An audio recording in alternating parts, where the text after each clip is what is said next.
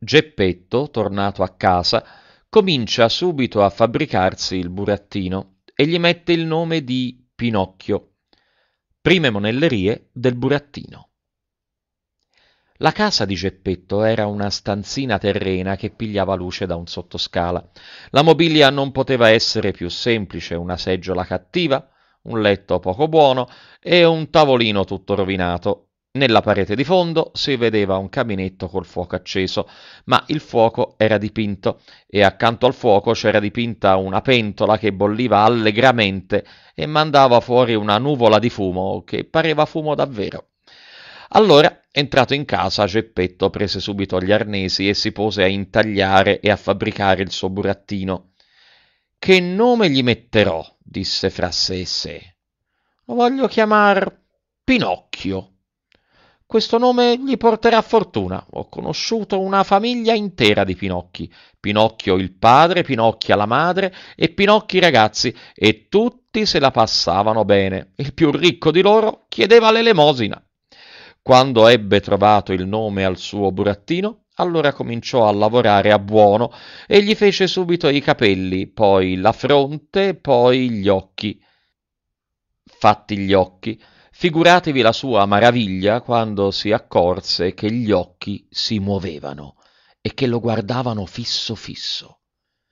Geppetto, vedendosi guardare da quei due occhi di legno, se n'ebbe quasi per male e disse con accento risentito Occhiacci di legno, perché mi guardate?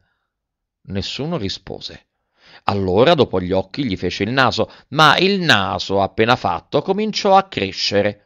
E cresci, cresci, cresci, diventò in pochi minuti un nasone che non finiva mai.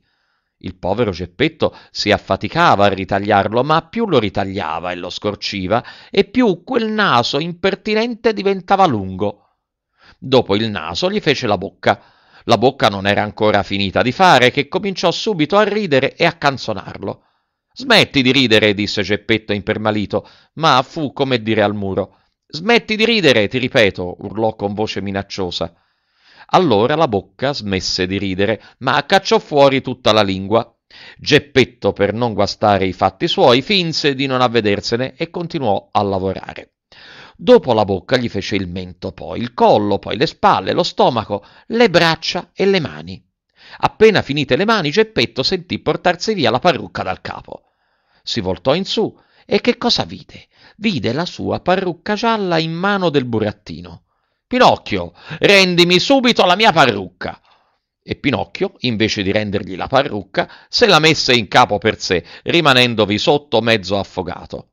A quel garbo insolente e derisorio, Geppetto si fece tristo e malinconico come non era stato mai in vita sua, e voltandosi verso Pinocchio gli disse Birba d'un figliuolo, non sei ancora finito di fare e già cominci a mancar di rispetto a tuo padre.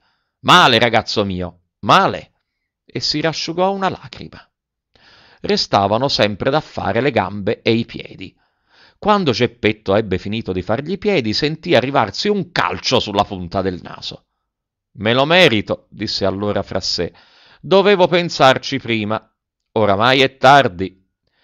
Poi prese il burattino sotto le braccia e lo posò in terra sul pavimento della stanza per farlo camminare. Pinocchio aveva le gambe aggranchite e non sapeva muoversi, e Geppetto lo conduceva per la mano per insegnargli a mettere un passo dietro l'altro. Quando le gambe gli si furono sgranchite, Pinocchio cominciò a camminare da sé e a correre per la stanza finché, infilata la porta di casa, saltò nella strada e si dette a scappare. E il povero Geppetto a corrergli dietro senza poterlo raggiungere, perché quel birichino di Pinocchio andava a salti come una lepre e, battendo i suoi piedi di legno sul lastrico della strada, faceva un fracasso come venti paia di zoccoli da contadini. Piglialo, piglialo! urlava Geppetto, ma la gente che era per la via, vedendo questo burattino di legno che correva come un barbero, si fermava incantata a guardarlo e rideva, rideva, rideva, da non poterselo figurare. Alla fine, e per buona fortuna, capitò un carabiniere, il quale, sentendo tutto quello schiamazzo e credendo si trattasse di un puledro che avesse levata la mano al padrone, si piantò coraggiosamente a gambe larghe in mezzo alla strada, con l'animo risoluto di fermarlo e di impedire il caso di maggiori disgrazie. Ma Pinocchio, quando si avvide da lontano del carabiniere che barricava tutta la strada, s'ingegnò di passargli per sorpresa fra mezzo alle gambe, e invece fece fiasco. Il carabiniere, senza punto smoversi, lo acciuffò pulitamente per il naso, era un nasone spropositato che pareva fatto apposta per essere acchiappato da carabinieri, e lo riconsegnò nelle proprie mani di Geppetto il quale, a titolo di correzione, voleva dargli subito una buona tiratina d'orecchi. Ma figuratevi come rimase quando nel cercargli gli orecchi non gli riuscì di poterli trovare. E sapete perché? Perché nella furia di scolpirlo si era dimenticato di farglieli.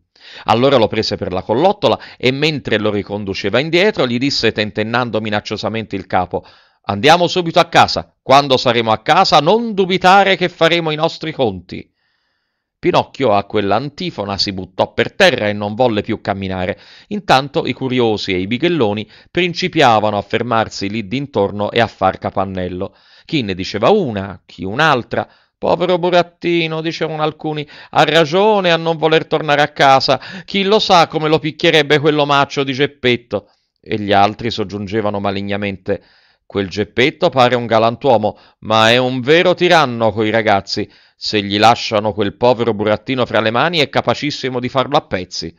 Insomma, tanto dissero e tanto fecero che il carabiniere rimesse in libertà Pinocchio e condusse in prigione quel pover'uomo di Geppetto, il quale, non avendo parole lì per lì per difendersi, piangeva come un vitellino e nell'avviarsi verso il carcere balbettava singhiozzando Sciagurato figliolo, e pensare che ho penato tanto a farlo un burattino per bene, ma mi sta il dovere, dovevo pensarci prima. Quello che accadde dopo è una storia da non potersi credere e ve la racconterò in quest'altri capitoli.